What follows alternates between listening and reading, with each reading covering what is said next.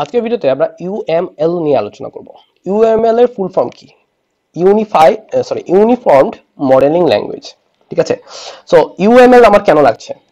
You UML পূর্বের ভিডিওতে আমরা বক্স নামে একটা ক্লাস ক্রিয়েট করছিলাম ক্লাসের মধ্যে কিছু অবজেক্ট ক্রিয়েট করছিলাম। সো বক্স ক্লাসটাকে আপনি কিন্তু কিছু প্রাইভেট প্রপার্টিজ ছিল, কিছু পাবলিক প্রপার্টিজ ছিল তারপরে কিছু প্যারামিটার ফাংশন ছিল ফাংশনের কিছু প্যারামিটার ছিল। সো এই জিনিসগুলো আমরা ইউএমএল এর মাধ্যমে প্রকাশ করব, যেটা দিয়ে আমরা বুঝতে পারব যে একটা জাভার ক্লাসের মধ্যে কি কি প্রপার্টিজগুলো আছে। ইউএমএলগুলা ইউএমএলগুলা যেন একটা বক্সের মতো বানানো হয়, একটা সাপোজ বড় বক্স ঠিক আছে? বড় বক্সের উপরে আমরা লাস্ট এক্সাম্পলে দেখছিলাম বক্স নামে একটা এক্সাম্পল দেখাইছিলাম। সো এখানে আপনার ক্লাস নেমটা সর্বপ্রথমে লিখে দেবে। ক্লাস নেমটা আপনার লিখতে হবে এখানে বক্স ঠিক আছে? তো বক্সের আপনার দুইটা ভাগ থাকবে। একটা হচ্ছে ফাংশনের জন্য হচ্ছে আপনার ভ্যারিয়েবলগুলোর জন্য।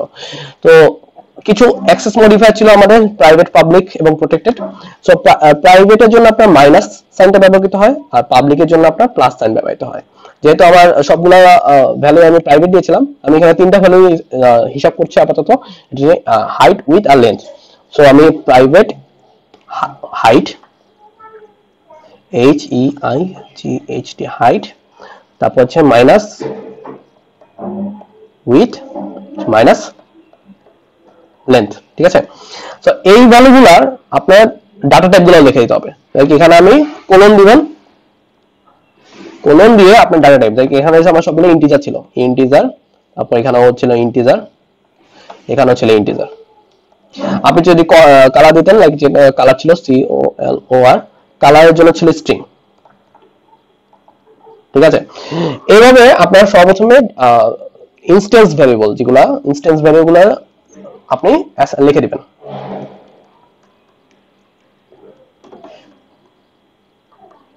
ইনস্ট্যান্স ভ্যারিয়েবল দেন হচ্ছে আপনার মেথডগুলো লিখতে হবে। তো আমার একটা কনস্ট্রাক্টর ছিল। তো কনস্ট্রাক্টরটা কিন্তু আপনি পাবলিক দিয়েছিলেন। আমরা প্রাইভেট দিলে এখানে মাইনাস করে দিতাম। আর কনস্ট্রাক্টর কিন্তু অলওয়েজ আসলে প্রাইভেটই মানে পাবলিকই হয়। প্রাইভেট যখন দিবেন, তখন আবার কনস্ট্রাক্টরই কল হবে না। মানে অবজেক্ট ক্রিয়েট করতে পারবে না। ওটা আবার আলাদা হিসাব। আপনি যদি বলেন যে একটা ক্লাস বানাবো, যে ওই ক্লাসে কোনো অবজেক্ট ক্রিয়েট করতে পারব না।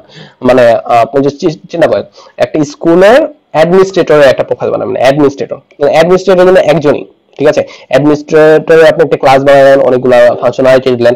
এখন অ্যাডমিনিস্ট্রেটরে যদি আপনি বারবার অবজেক্ট ক্রিয়েট করতে পারেন, তখন কিন্তু জিনিসটা দেখা পাওয়া যায় যে আপনার এতগুলো অ্যাডমিনিস্ট্রেটর কেন হবে? অ্যাডমিনিস্ট্রেটরগুলো একজনই হবে। তখন হয় কি, আপনি একটা প্রাইভেট কনস্ট্রাক্টর দিয়ে দেন। প্রাইভেট কনস্ট্রাক্টর দেওয়ার ফলে আপনার অ্যাডমিনিস্ট্রেটর কোনো অবজেক্ট বানানো যায় না সো অ্যাডমিনিস্ট্রেটর একজনই থাকে। আর অ্যাডমিনিস্ট্রেটর যখন অবজেক্ট বানাবে, সেটা হচ্ছে আপনার ক্লাসের ভিতরে একটা স্ট্যাটিক অবজেক্ট বানিয়ে দিবেন। ওটাই দিয়ে আপনার অ্যাডমিনিস্ট্রেটর রোলগুলো অ্যাসাইন করে দিতে পারবেন। ওটা আসলে পরে হিসাব।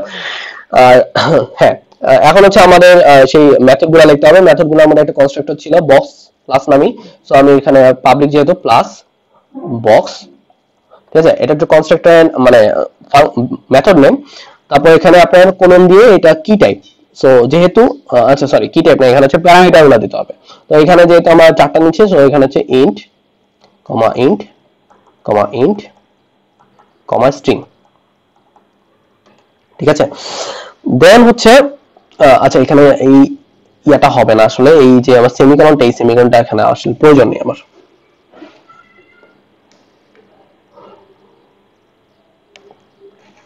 দেন হচ্ছে আমার ওপেন বক্স ছিল আর ক্লোজ বক্স ছিল।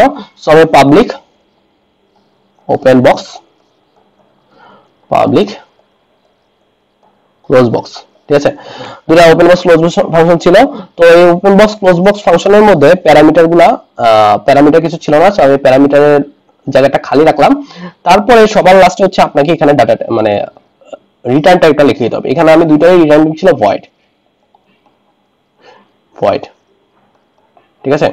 তো দুইটা রিটার্ন টাইপ লিখলাম আপনি যদি ভয়েড না থাকে স্ট্রিং থাকে স্ট্রিং দিতে পারেন বা কোনো অন্য কিছু থাকলে সেগুলো লিখে দিবেন। তো এই পার্টটা হবে আমার মেথড সো ইউএমএল তারা হচ্ছে আপনার বিভিন্ন যখন আপনি ডেভেলপমেন্ট ক্ষেত্রে যাবেন, তখন হচ্ছে আপনার প্রতিটা ক্লাস আসলে যখন আপনি একটা প্রজেক্ট বানাবেন প্রজেক্টে আসলে এইভাবে আপনি ইউএমএলটা ক্রিয়েট করে নেবেন যে আপনার কি কি জিনিসগুলো আছে, কি কি ক্লাস লাগবে।